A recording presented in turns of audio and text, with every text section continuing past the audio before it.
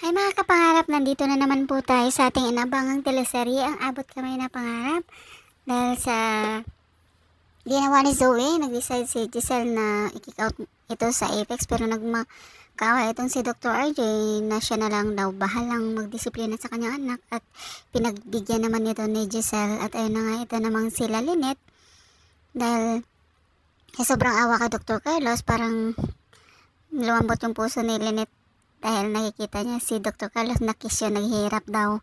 At ayun naman, itong si Harry naman at yung kanyang abogado, kinausap niya si Harry at sinabi nito na absuelto na daw si Dr. Carlos sa kaso niya sa kay Irene kasi wala naman daw kaukulang ebidensya kung kaya't ayan, hiniling na abogado na kung gusto ni Harry na hindi makulong yung kanyang daddy, hilingin nito kay, kay Lynette na iorong na lang yung demanda dahil na nga po nakausap tong si Harry kay Lynette at inorong ni Lynette at pumayag itong si Lynette at inorong ni Lynette ang demanda dito at nagulat itong si Annalyn pati na din yung kanyang tatay.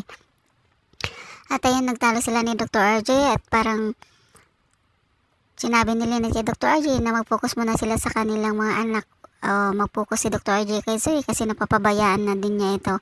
At ayun na nga po parang nag-split itong dalawa kahit wala naman palang silang wala naman silang relasyon. Ayun. Ito naman si Aling Susan.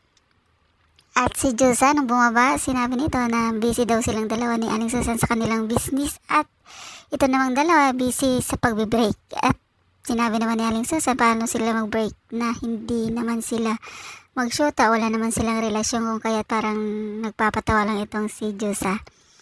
Samantala, itong si Zoe pumunta doon sa room kung saan nandun si Dr. Ar Dr. Carlos at nagkunwari itong si Dr. Carlos na baliw-baliwan kung kaya't na inawakan ni Zoe ang kanyang panga at niyog-yog ito at sinabing tumigil ka na, tumigil ka na hanggang napikon itong si Dr. Carlos at hinawakan ito ng mahigpit ang braso ni Zoe at sinabi nitong wag na wag siyang sasaktan at wala siyang karapatan at ayun na nga gulat na gulat si Zoe at alam niyang nagdadrama lang yung kanyang tat daddy Carlos biglang dumating ito si Annalyn at nakita nitong parang nagtatalo nagalit itong si Zoe sa kay Dr. Carlos kaya napalusot na lang ito na galit ito dahil sa mga ginawa nito sa kanyang mami samantala sa, sa hospital pa din kung saan itong si Dr. Carlos ready na dalhin dun sa mental hospital at nung inannounce na nila Harry na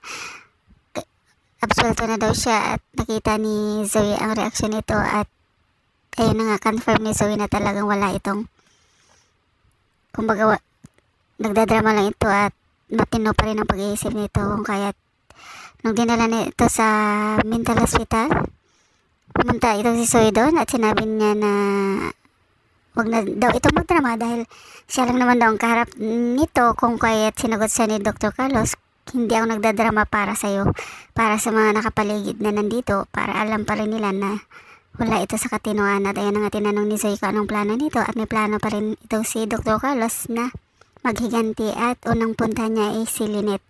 Samantala sa Epic naman itong Giselle excited na makilala yung bago nilang nakabili ng share at akala nila yun na yun pero abogado yung dumating dahil busy daw yung yung bossing niya. At ayun na nga tuwan-tuwa naman itong abogado na pinalita doon sa kausap niya na okay na daw at approve na daw yung pagiging isa sa mga member ng board at isa din siya doon sa may share ng 37% share sa FX at ayun na nga parang feeling ko si Moira yung kausap ng abogado. At tuwang tuwa itong sa binalita at ayun na nga guys grabe.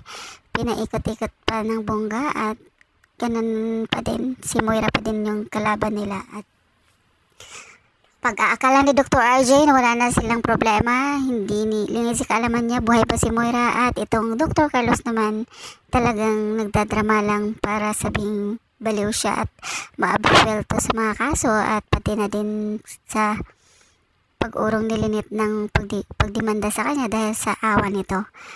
Ayan, abangan ang masusunod ng panata guys. Please don't forget to like, subscribe, and press the bell button for notification si Fai on my next video. Thank you so much and bye!